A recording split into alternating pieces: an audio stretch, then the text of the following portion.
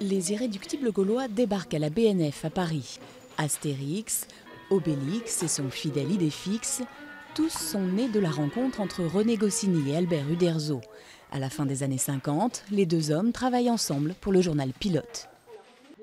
L'alchimie va prendre très très vite entre Albert euh, Uderzo et René Goscinny parce qu'ils ont une même conception de ce que doit être pour eux la bande dessinée humoristique, euh, une bande dessinée qui n'est pas une bande dessinée bétifiante pour les enfants, mais qui est un humour compréhensible à différents degrés.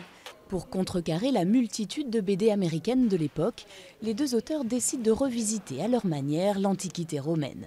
La toute première planche d'Astérix paraît en octobre 1959. Le graphisme se cherche encore, mais l'essentiel est là. On y trouve une case d'onomatopée extraordinaire, on y trouve le contre-pied de ce mythe gaulois avec la scène de reddition de Vercingétorix qui jette ses armes sur les pieds de César qui laisse échapper un wap de douleur. La recette de la potion magique d'Astérix Parodie, anachronisme, jeu de mots et art du mouvement, un vrai travail d'auteur construit planche par planche à partir d'un scénario détaillé.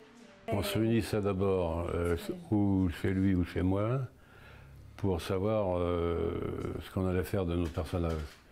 Surtout les voyages, parce que c'est le plus compliqué. Quand on voit l'époque que l'on a traitée, évidemment, les voyages n'étaient pas courants. Les Gaulois voyagent et leurs albums s'exportent vite hors des frontières de la Gaule. Astérix, c'est 352 millions d'albums vendus dans plus de 100 langues différentes, qui en font la BD la plus partagée au monde.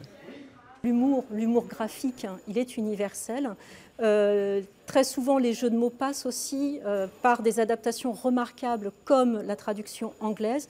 Et puis surtout ces valeurs, ces valeurs qui sont portées par Astérix, l'amitié, euh, la résistance, qui ne se reconnaît pas dans la résistance du petit contre le grand.